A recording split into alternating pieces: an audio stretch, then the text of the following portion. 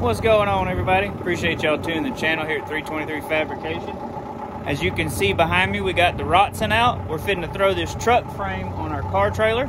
I got some pipe stands. I'm gonna put it up on there, pull the wheels off of it. Got a guy, uh, found a local fella, young guy, uh, that works where I work, and um, he's gonna blast it for us. We're gonna go over there and check that out, give him a hand. Hopefully Saturday, and uh, we're gonna go ahead and prep for it, get it out of the way, get it up on the trailer because we don't really need the trailer right now, and then gonna move some stuff around. But hope y'all looking forward to it. I've never, we've got a blast cabinet, some small pot blasters, and we do little parts and stuff, but never seen a big, something big done with a, a big equipment. So that I'm looking forward to that. That's gonna be cool. But let's get this thing loaded.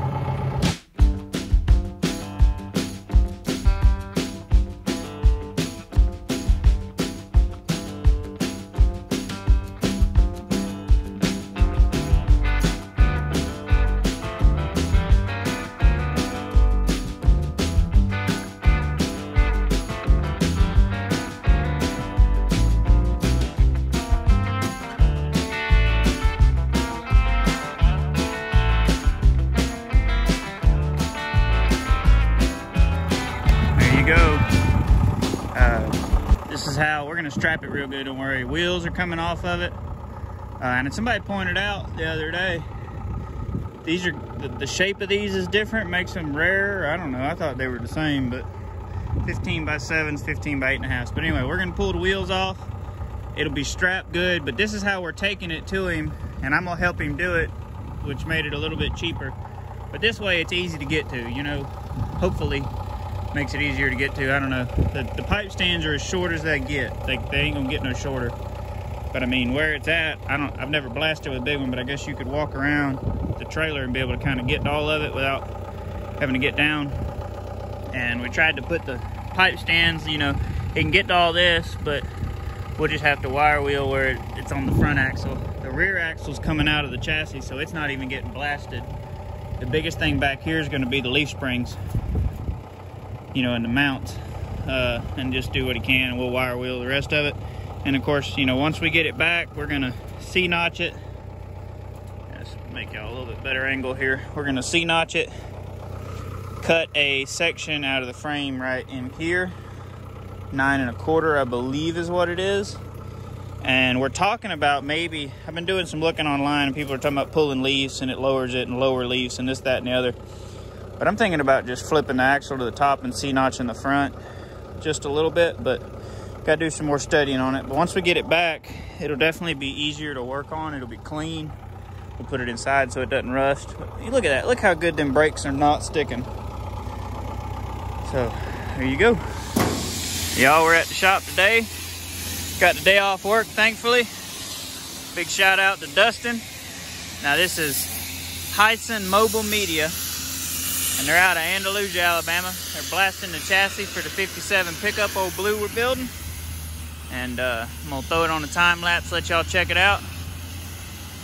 But uh, we'll get some more footage of it. It's gonna be awesome, get this thing primed and be able to finally make some more progress on it. Uh, still working on the 55 Buick, but I thought this was pretty cool. Y'all wanna check it out.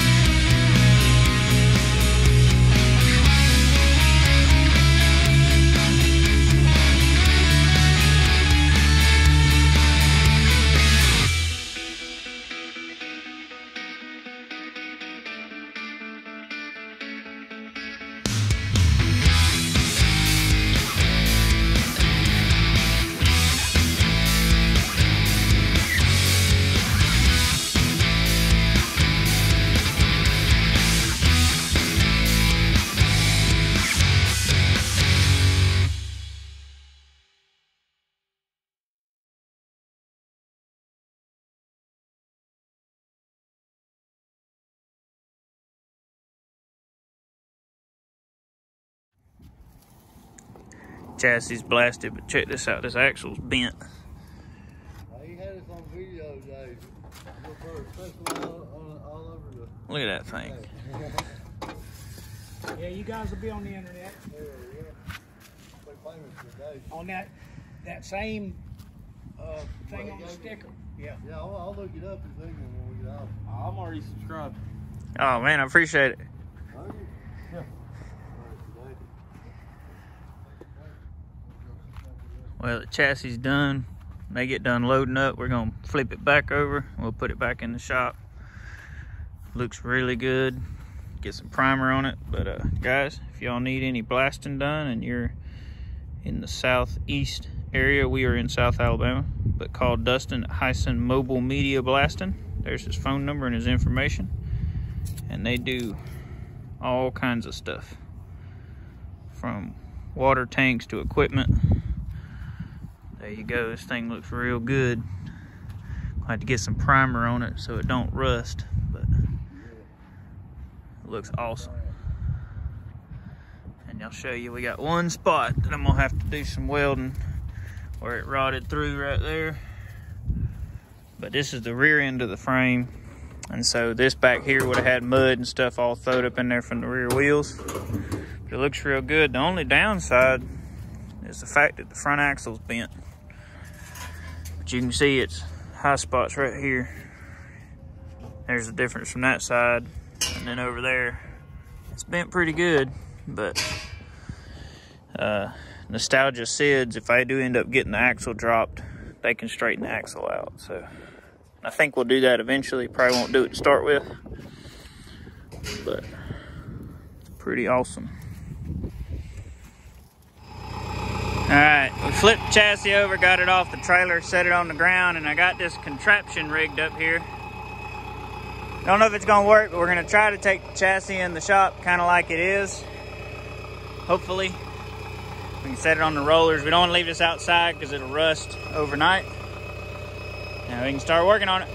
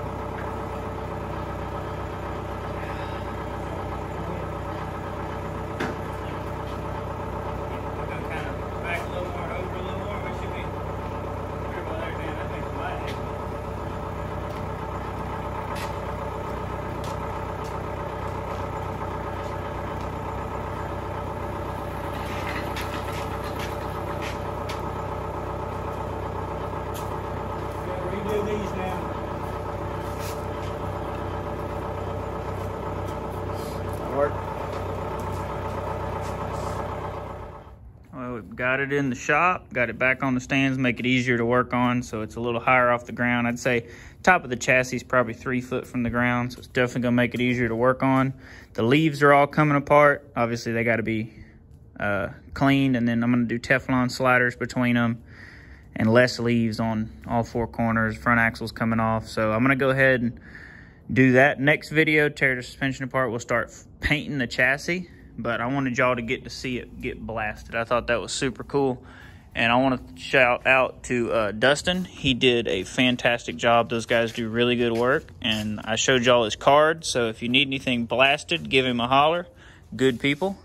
And uh, I really appreciate them coming out and knocking this out for us. I was supposed to take the chassis to him. They're based out of Andalusia, Alabama but he had another job over here this way so he just waited and came by and did this on his way to the other job. And that job's going to be a few days so he wanted to get this done first.